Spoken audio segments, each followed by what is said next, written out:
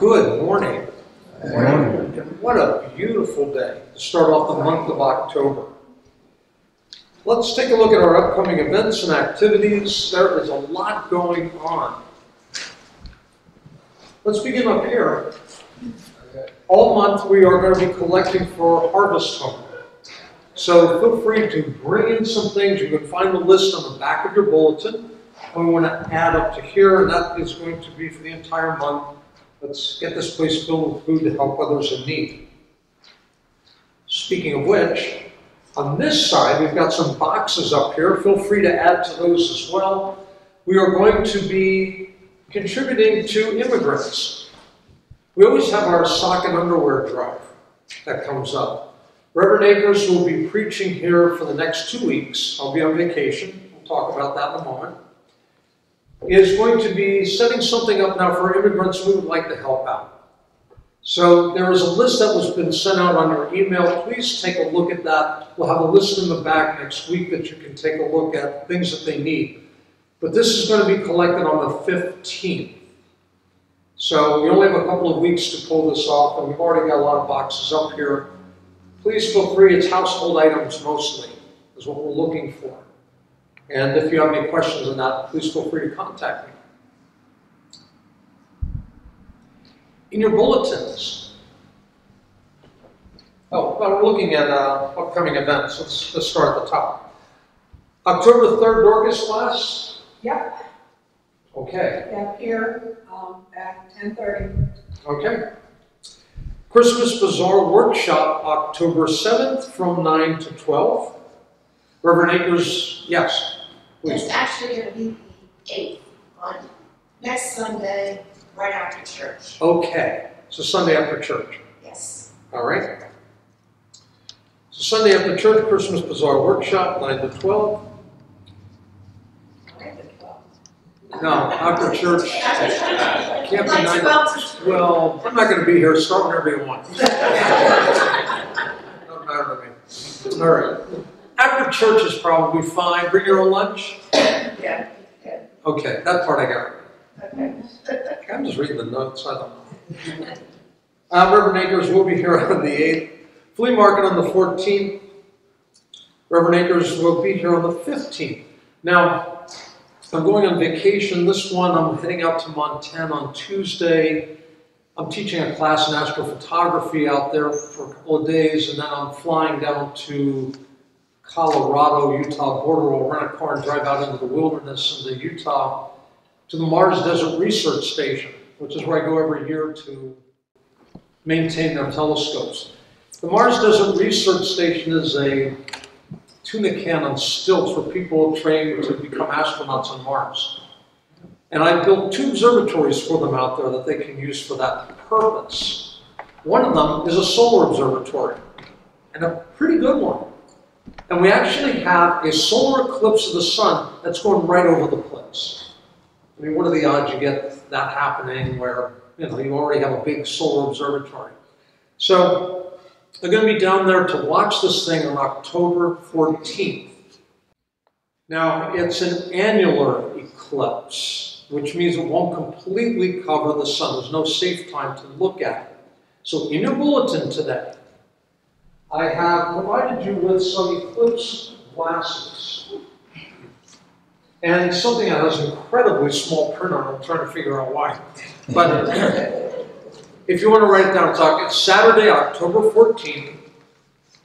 And the eclipse starts at 12.05, where the moon will take a little bite out of the sun, and it will be over by 2.37. 1.30 is really the maximum for you here. It's going to be partial here. Eclipse viewers, you don't want to, you know, touch the uh, center on this. Perfectly safe. You can go outside afterwards and look at this, look at the sunlight. Look at that. You can see the size and the color that it will give you. Incredibly and perfectly safe for your eyes. Okay, this is a really good one. So hold that for the event. Visual only. Okay? You do not use this with a telescope. You do not use this with binoculars. Okay, don't do this and put binoculars here. That'll burn a hole through that in a heartbeat. So you just look at it with the eyes through this. You're going to be in great shape. I've been looking at the sun since I was a teenager. I'm still seeing you out there, okay? It's, it's a very safe way to do it. For you, at 1:30, we always graphics. That's pretty much the maximum that the moon is going to slide by the sun here. For me, it's going to be directly in the center. We'll share pictures of that when I get back. So you're going to have a chunk taken out of the sun. You are not going to notice anything outside. You didn't know an eclipse was going on, you'd be completely oblivious to it. Clouds will blot out the sun more than this will. So at 1.30, it's like, oh, it's still really bright out. And just take a look at this and you'll see a little chunk taken out by the moon as it passes by the sun. So enjoy that. That's kind of a really neat kind of event to see. That's October 14th. I'll be back for the 22nd. We'll have our Bible study, 27th community dinner, and at 5.30. Always a lot of fun. Always a lot of fun and fellowship with. Other things need to be brought to our attention, any other events or activities? Marcia, please. Um, The Elverson Garden Club is having their annual flower show in Dearborn Hall on Saturday, October twenty-first, from twelve to four. And the flower show is free, it's open to the public. It'll be kind of interesting, these people are really creative, they want ribbons at the Philadelphia Flower Show for their exhibits. So it's worthwhile to come see, and it's free. In addition to that, we're gonna have our kitchen open, and we're going to be selling soup to go and baked goods. So, if you would like to pre-order some soup, there's a form in the back, um, and just give it to me or leave it in the kitchen. Um, this way we'll make sure we don't run out if you have a favorite soup that you would like. And also, if you could make any baked goods for the day, I have a sign-up sheet um, in the narthex, um, looking for things that, like cookies, cupcakes, brownies, things that people might eat as they're walking around or driving around, or things to take home, any kind of goodies. So, any help would be greatly appreciated. Thank you. Thank you. Anything else? A young minister was being interviewed by a church board for the position of pastor. And one member of the board looked at the young man sternly and asked, Young man, did God send you here? The young pastor was taken aback for a moment and said, Well, I don't know if God sent me here. I'm here trying to find the will of God and find out if you would like me for your next pastor. The board member replied, Young man, did God send you here?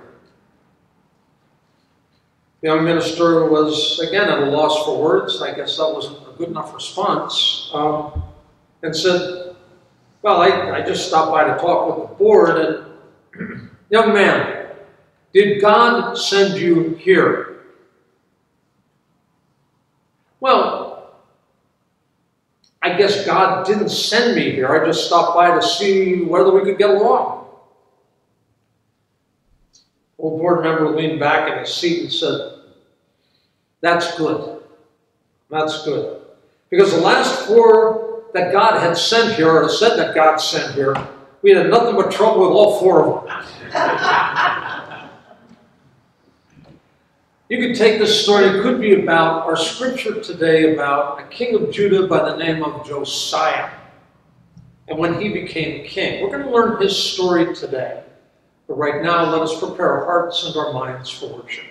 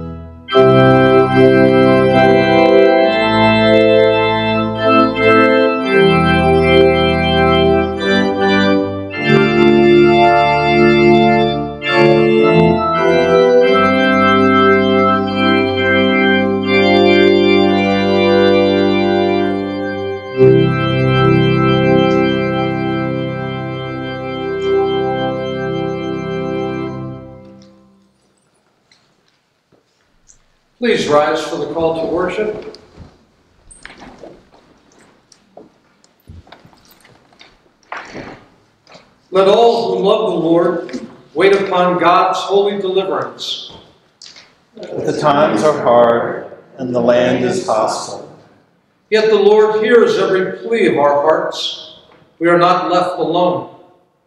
And let us take comfort in the mighty arm of the Lord. And let us lift our voices in loving praise. Blessed be the name of the Lord. Let us join our hymn, God of Grace and God of Glory, number 436.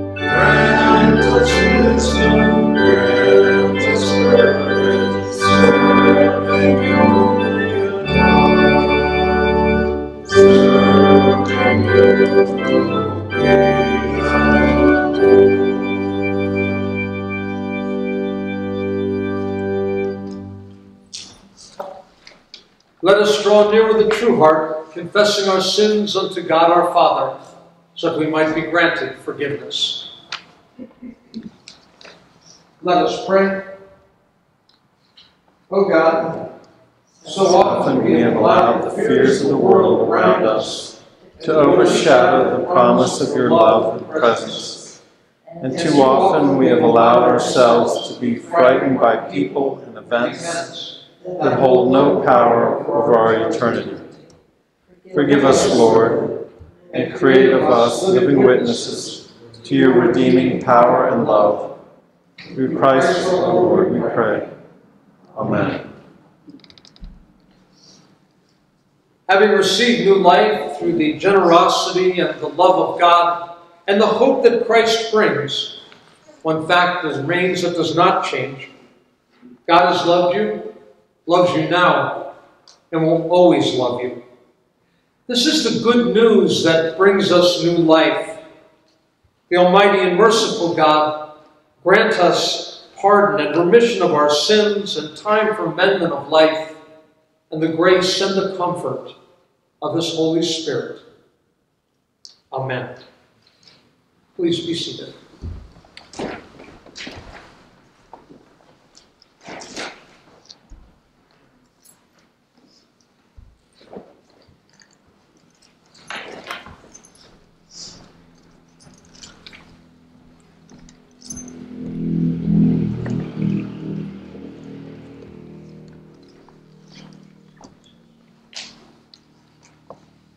Good morning.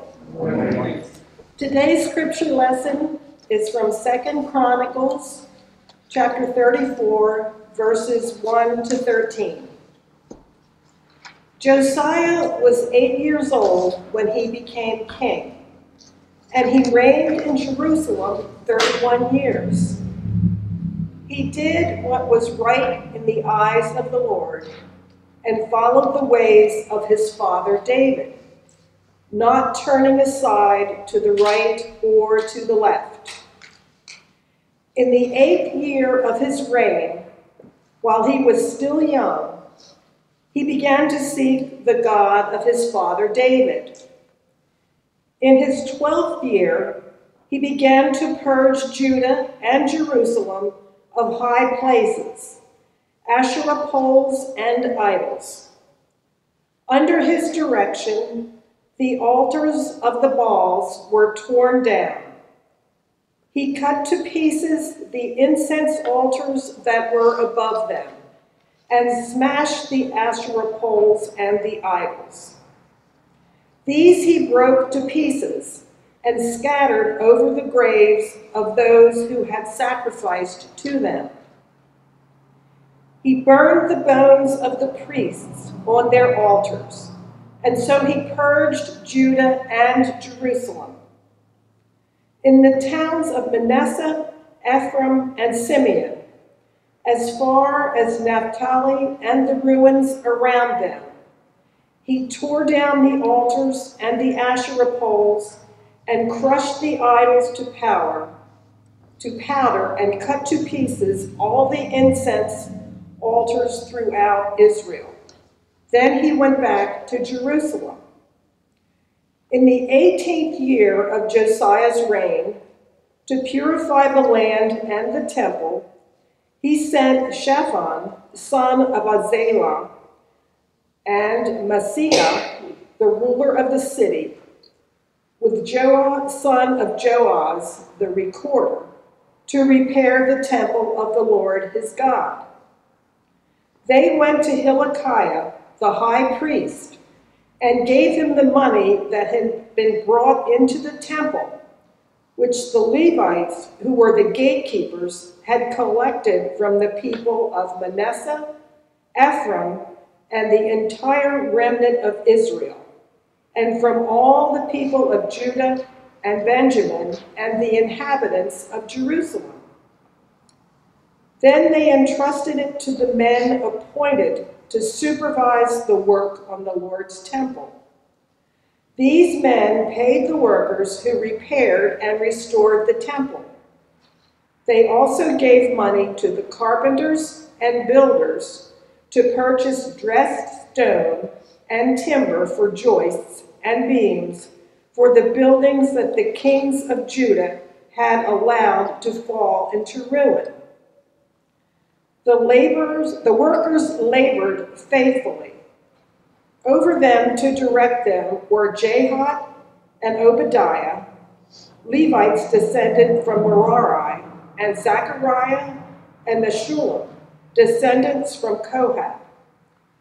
The Levites, all who were skilled in playing musical instruments, had charge of the laborers and supervised all the workers from job to job.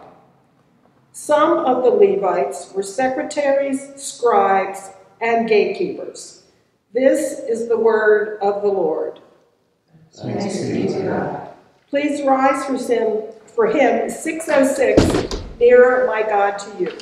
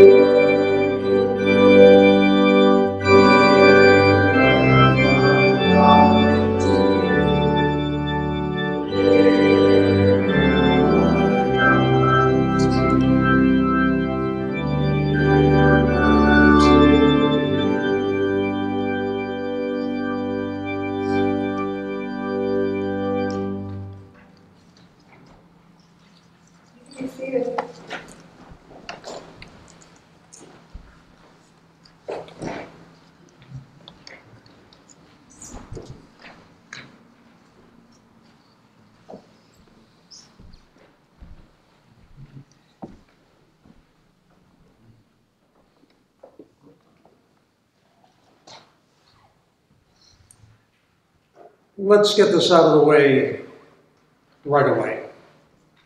I always get asked two questions.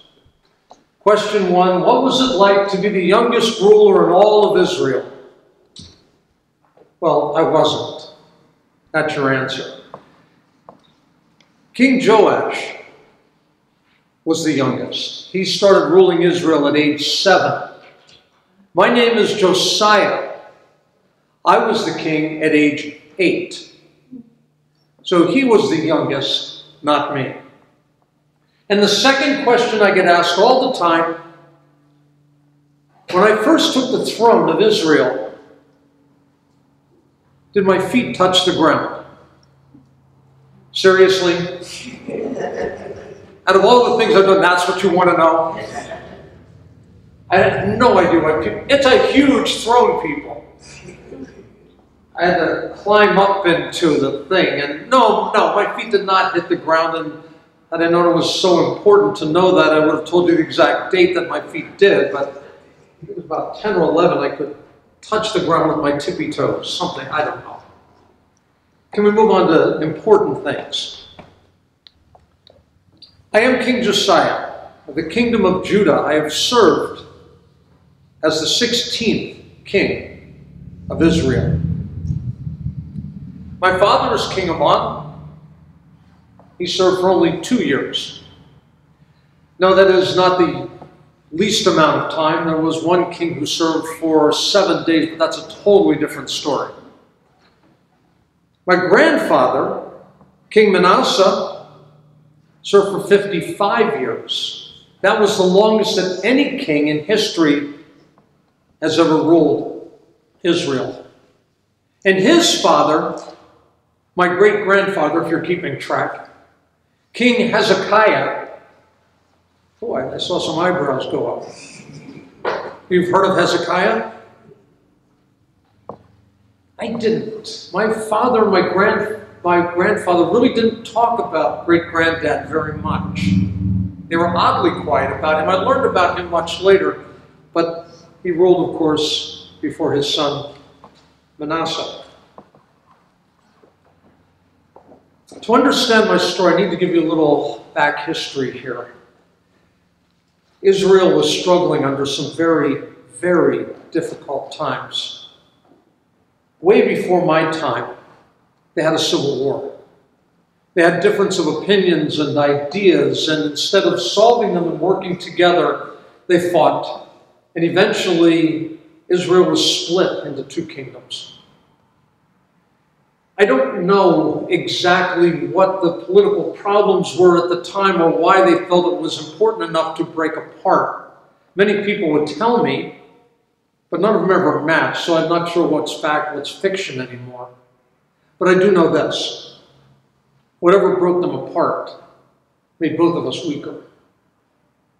When enemies came, it was so much harder, and especially the Assyrians. They were the worst. They took over the northern kingdom of Israel first. King Hezekiah was the king of Judah at the time. And we watched as they were decimated. Not only did they overtake the northern kingdom of Israel, they deported most of the people. Have you ever heard of the lost ten tribes of Israel? Have you heard of that? There you go. Ten of the 12 tribes were gone, and we have no clue what happened to them. Never heard from them again. Hezekiah certainly did not want this to happen to Judah, and we certainly were in no place to fight the Assyrians. So he bargained with the king. He gave him money, he gave him jewels, he gave him gold and silver a lot. And where did he get this? It was Hezekiah. He didn't ask for the people for anything. He took it all from his palace. His palace was laid bare. And he gave the king of Assyria all those things so that they wouldn't attack. But the king of Assyria was not satisfied. He wanted more. He wanted a lot more. And Hezekiah very reluctantly had no choice, so he went and he stripped the temple, Solomon's temple, of all the gold, all the silver, all the jewels, and he took all the money from the temple treasury and gave it all to the king of Assyria. He felt a little better about it, but he still wasn't satisfied. All of us were made subjects. But Hezekiah made it clear that we could still practice our culture, our religion, but we were still subjects. Are you familiar with um, the concept of taxes at all? You are, trust me, you have not seen taxes the way we had to pay taxes as subjects of Assyria. It was a difficult time and it was about to get a lot worse.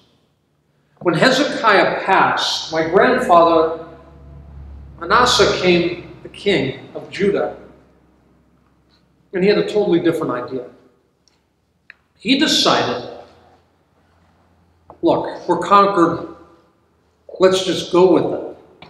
And he talked to the king of Assyria and he said, if we're going to be your subjects, let's be your subjects, let's be Assyrians. Let's practice your culture. Let's practice your religion. And he made a decree that we were now going to be all worshiping Baal and the other pagan gods. Our culture was now gone. Part of the practice I found out later that it actually began here was the sacrifice of your firstborn. When he had his first son, Manasseh sacrificed him to one of their pagan gods. When he had his second son, my father, Amon, Amon is not a Hebrew name, it's an Assyrian name. We were part of the Assyrian Empire. Manasseh reigned for 55 years, the longest of any ruler in the kingdom of Judah and Israel 55 years. We were practicing Assyrian ways. I consider it to be the darkest time of our history. When Manasseh passed, my father, King Amon, became the ruler of Judah. He had no great reforms. He was well with the Assyrian ways. He started at age 22. At age 24, he was murdered by one of his servants. And I came on the throne at age 8, an orphan. My feet don't touch the ground of the throne, right? I don't really have what it takes to rule a country at age 8. I don't have the wisdom, I don't have the experience. We all know this. What I need are people. People I can trust, people I can work with. And that's one of my first jobs is to pick advisors, tutors. And I had many people who wanted the job. I didn't like any of them. You know what? I have to say, if I could be proud for a moment, at age eight, I made a really wise decision. I picked somebody that I could trust it was a temple priest by the name of Hilkiah. I don't know why, I just really liked him. And he got other temple priests, and they taught me the ways of the God of Abraham, of Isaac, and of Jacob, of Moses, and of David, and of Hezekiah. And I realized there is only one God, and one God that is worthy of worship. As I started to learn my role and time had passed, after eight years, when I became 16 years old, I was ready. I was ready really to firmly rule. The Assyrians had backed down a bit. They weren't in our face all the time. They were dealing with the Chaldeans and the Babylonians. We didn't see them as much, and I made the move. Destroy every altar to Baal. We're done with it. From now on, we only worship the God of Abraham. I want all the poles that were taken down. I want all the incense that we set up for their gods. I want it all destroyed. And it was done. I had bigger plans.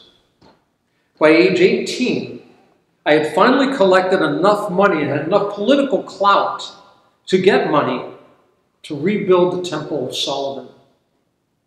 Oh. I remember Hilkiah coming in and saying to me how proud he was that renovations were starting to go on and that we would be able to worship God back in the temple. And he said, Do you know what Josiah means? You know what your name means? I said, I don't know. And he said, Healed by God. I like that. And Hilkiah said, There's more though. It's not just you that's being healed, you're also healing this nation. There was a lot in the renovations. The place was a mess. We had to replace wood, we had to replace stone. Of course, we had to add in the jewels and the gold and the silver. We wanted this thing back up to its former glory. And I will never forget the day. The priest comes into me holding a box, and the look at the face, the eyes are as wide as saucers, a grin like he was a little kid. Never seen such a thing before. And I looked at him and asked what was happening. He said, Renovations are going splendidly in the temple. Everything is on schedule, everything is looking good. But we found this it's the book of law.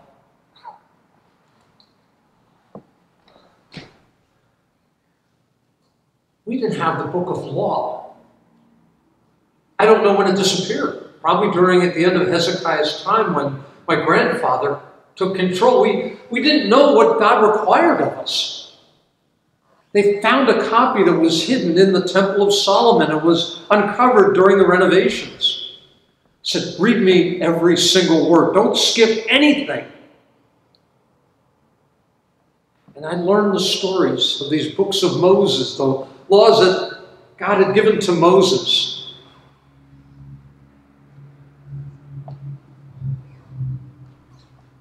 Learned of the promises that God gives. I learned of the curses. And I realized we weren't fulfilling this. We were doomed.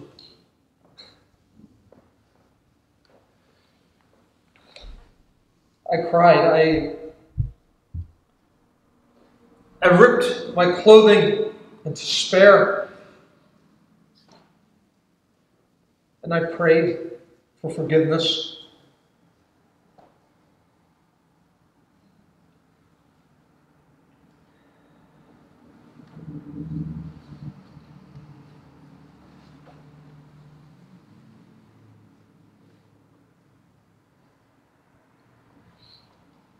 We needed to continue with the rebuilding of the temple. It's the best we could do. But first, we need to make changes. I told Hilkiah, tell everyone immediately, there will be no more child sacrifices. God does not want that. We've been doing it so long, we just thought that was normal. That has to stop right away. Tell the people we have found the book of law. Tell them that we will be following God's rules from now on. We'll be letting them know what they are in the coming days. That was a rough time.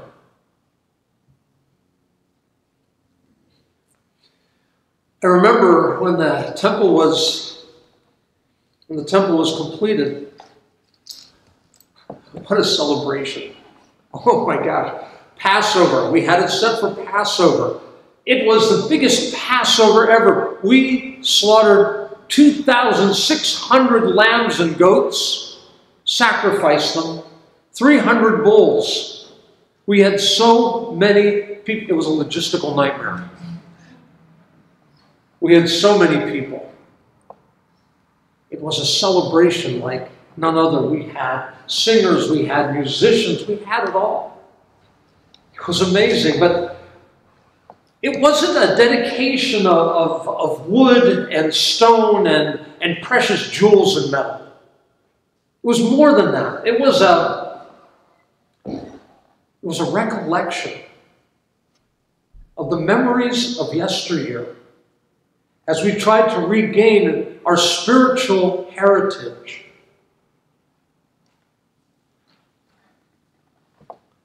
Honestly, what it really was was a rededication of our lives to God. That's what it was. The God who creates and the God who, who restores, the God who sustains.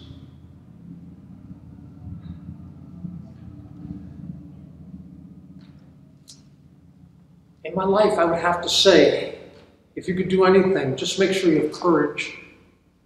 The courage not to follow the crowd, but the courage to listen to God and to follow God's word. The courage to be right with God, no matter what is happening. That's the key. And the second part to that is to take action. We went into the temple on the Sabbath, but we're to be with God. We are to practice every single day of the week, not just on the Sabbath. We're to give our hearts to God always, and to make that a part of it. It's like tending a garden. We have to water it, we have to nurture it, we have to weed it now and again. Get things out. That's what our spiritual life should be with God. That's the way our hearts stay clear. That's the way we can listen to God. Through that, and also through prayer and humility. That's the key. And asking forgiveness, which God will grant. I wish you all well. May you always worship the God Almighty with all your mind, with all your heart, with all your soul, with all your strength, in all ways.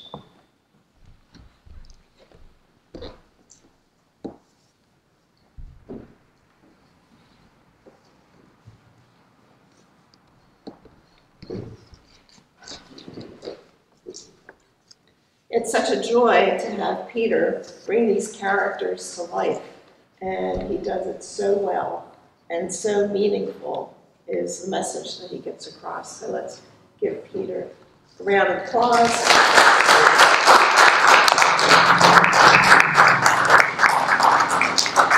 And an Oscar at some future date. uh, for joys and concerns, um, we have our, our prayer list to keep people in the prayers, but um, Jim and Jean, it's good to see you here in person. I'm glad you're both on the mend. Uh, Nancy has been moved to a rehab facility on Friday night, Jim, you mentioned that. Uh, So please keep her uh, in your prayers. If you haven't had a chance to sign the card, Sharon has a card that we'll be sending to her. Um, it's always a joy at the change of a season to come to church and see how things have been transformed. So we went from summer to fall.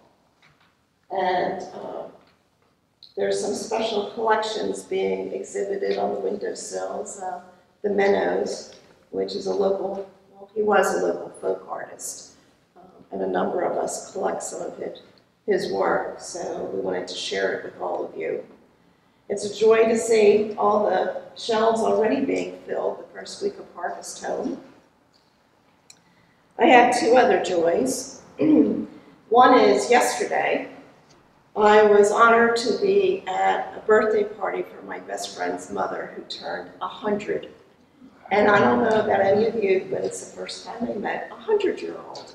I've known her for a long time, and as she likes to say, she's outlived her parts. her mind is still sharp as a tack. So, of course, everybody wants to know what's the secret to living to be 100? And she shared two things with me. One is be content with what you have. Growing up during the Depression, you learn to live with what you have. And all her life, she learned to live with what was around her. The second thing is um, she has a plaque that says, Be grateful, be thankful, and blessed. And she looks at that every morning and she said, I am. I'm so grateful, thankful, and blessed that I'm here today. So I just wanted to share that with you.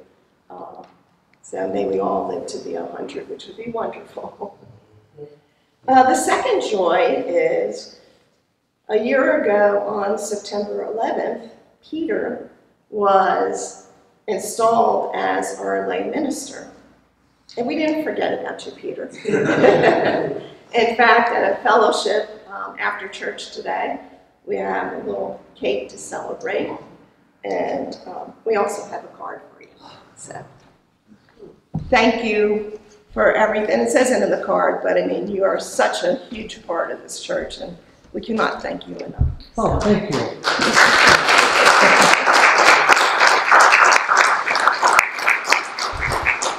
Thank you very much. I guess, uh, did you talk about the shed dedication? No. We're gonna have a shed dedication. That shed is looking nice down there. And we need to dedicate it as a shed before I turn it into a garage for my Jeep. All right, so I'm thinking that's really where we're going with this, but uh, it might even be in the card, I don't know. Um, yeah, so we will have that when I get back. Um, when are we gonna be done with this thing that we can have this? We're looking at the end of the month? Certainly? Okay. By the time I get back in a couple of weeks, we can have it at the end of October? Okay, we'll look into that. And just one other joy that I would like to share is uh, my nephew Matthew is moving out of the house today. wow.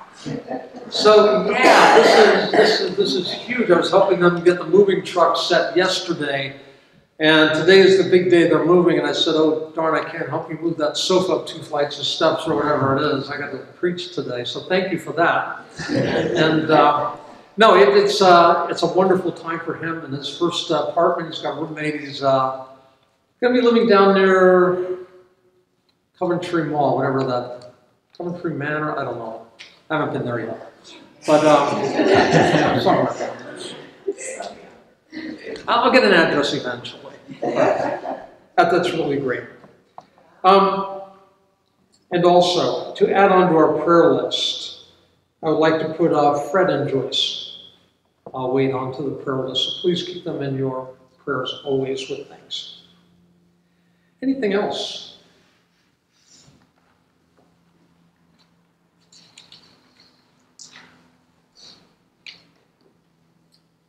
Okay. I think we're up for a prayer then.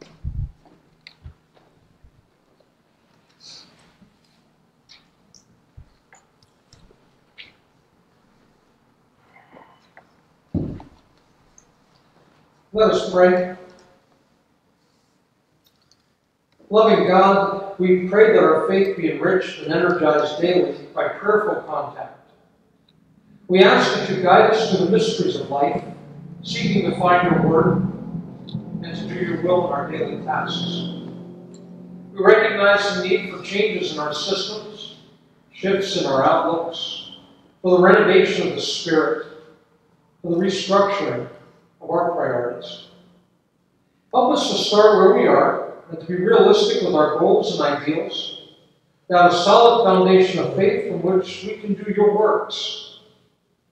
Help us to find the energy and fortitude to strive to be all that we can, so we can sacrifice those things that no longer serve us, and make sacrifices of our time and energy to help others. Allow us to achieve this balance, and in the process, allow us to make space in our hearts, in our minds, and our souls for you.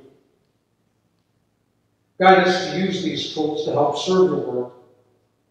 We ask your special blessing on those who are ill, those who are recovering. We ask your divine grace to find peace, wholeness, and joy that comes from sharing the kind of love you extend to us. Enable us to reach out in fellowship to others with the grace of the Holy Spirit. We lift our hearts to you, O Lord, quiet, and open with reverence and awe as you taught us to pray. Our Father, who art in heaven, hallowed be thy name. Thy kingdom come, thy will be done, on earth as it is in heaven. Give us this day our daily bread, and forgive us our debts, as we forgive our debtors. And lead us not into temptation, but deliver us from evil. For thine is the kingdom, and the power, and the glory forever. Amen.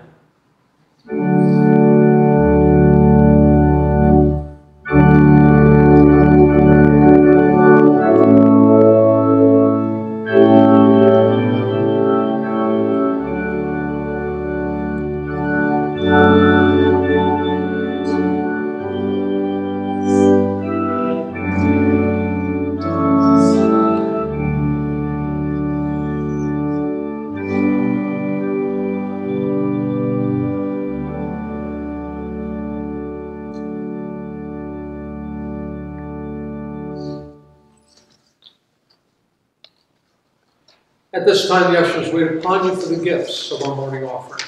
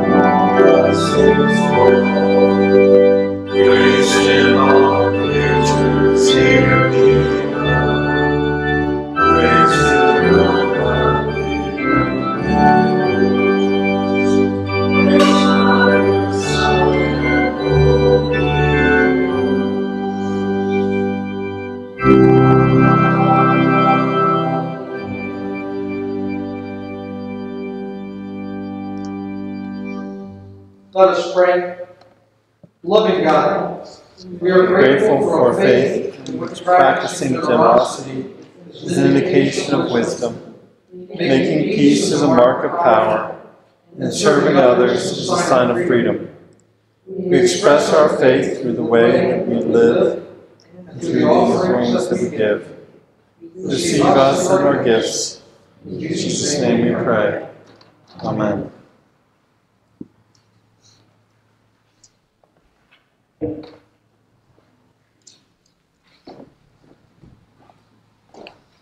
us join our hymn of communion, be known to us in breaking bread, number 342.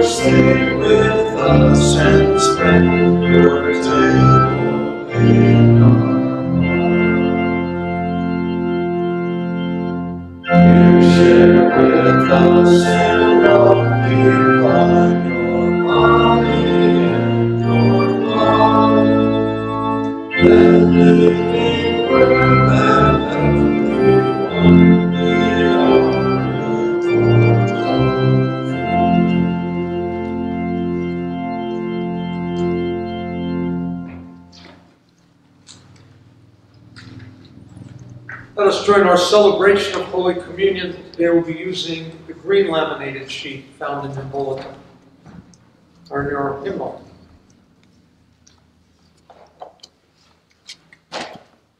God be with you.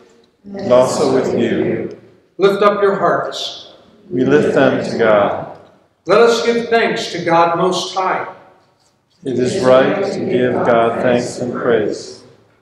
Eternal God, who has created the heavens and the earth, giving breath to every living thing, we thank you for all the gifts of creation and for the gift of life itself. We thank you for making us in your own image, for forgiving us when we act as though you have no claim on us, and for keeping us in your steadfast care.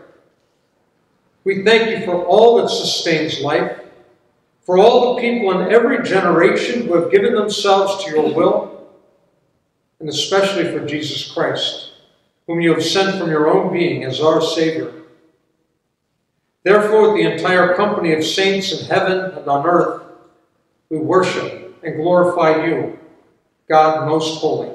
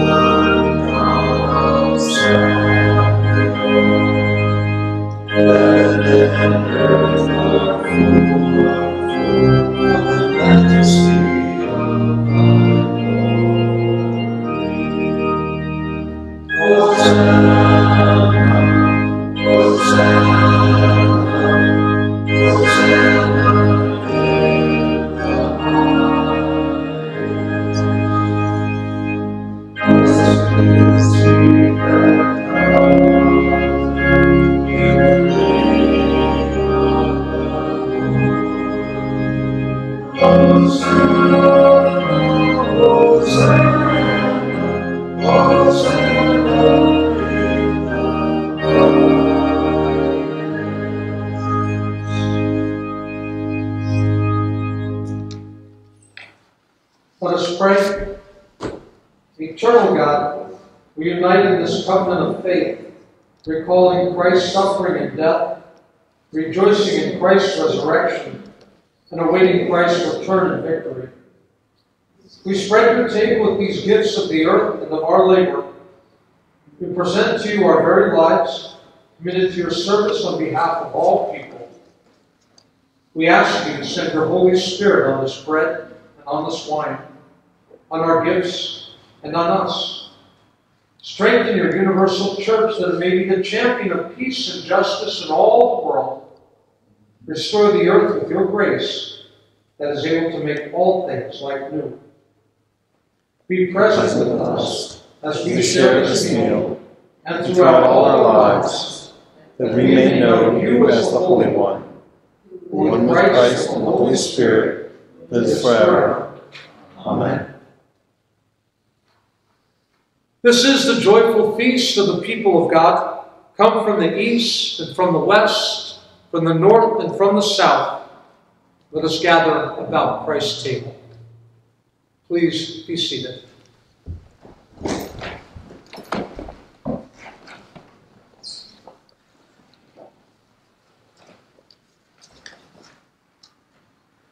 Our Lord Jesus, on the night in which he was betrayed, took bread, having blessed it, broke it, and gave it to his disciples, saying, Take and eat.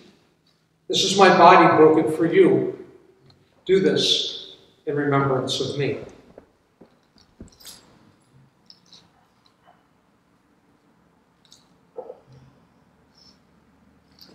In the same manner, he took the cup, and after he had supped, gave it to his disciples, saying, This is the new covenant of my blood, which is shed for you.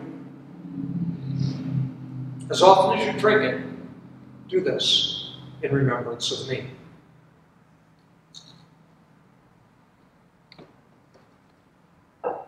This table is for all Christians who wish to know the presence of Christ and to share the community of God's people.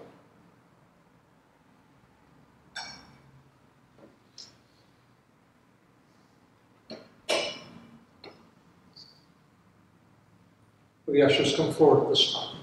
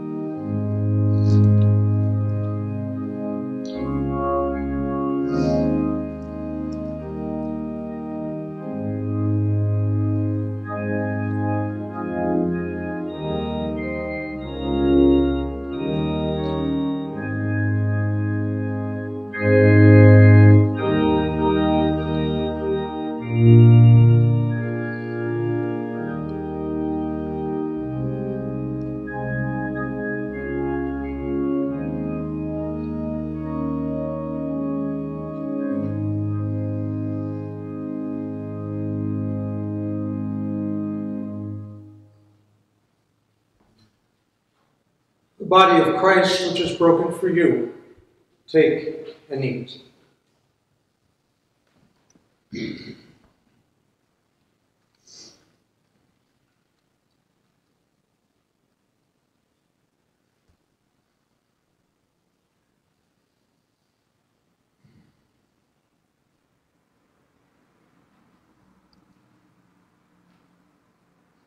Amen.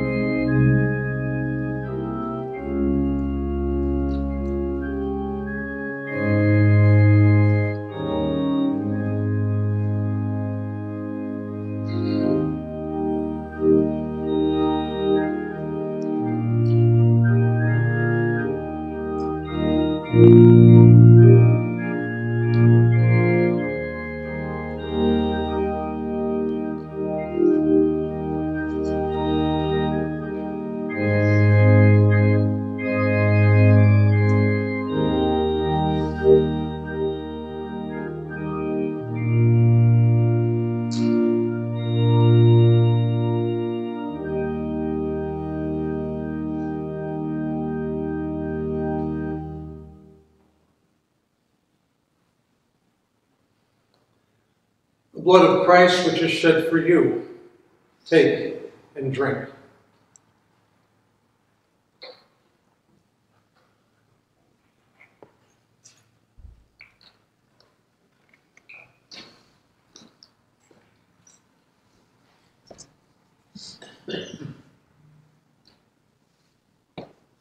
Amen.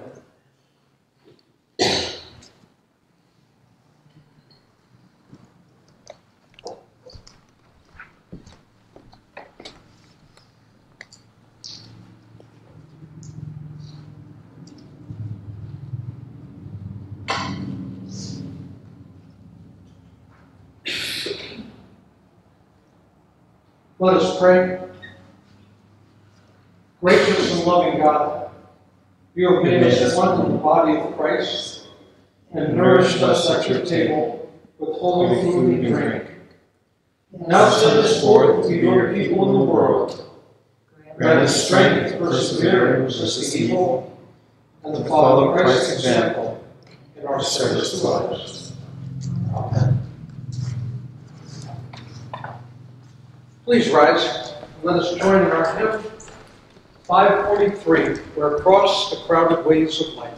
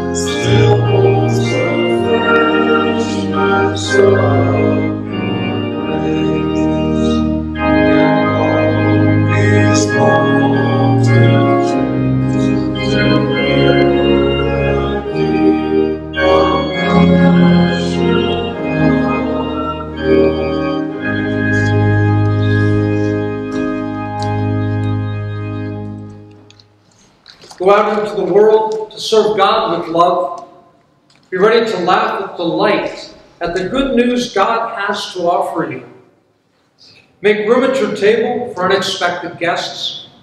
And may the blessings of God, Christ, and the Holy Spirit go with you today and always.